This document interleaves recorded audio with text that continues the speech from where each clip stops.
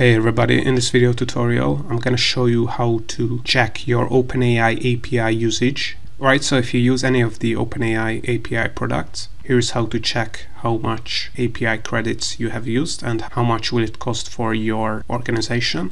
So all you have to do is open up the OpenAI API account, which you can do by going to platform.openai.com. I will also link it in the description below. And if you want to check out your API usage, all you have to do is click on the account icon here and select view API keys. And as you can see, you're going to be able to click on usage here under organization. And as you can see, here's where you're going to be able to find a summary of your OpenAI API usage for your organization.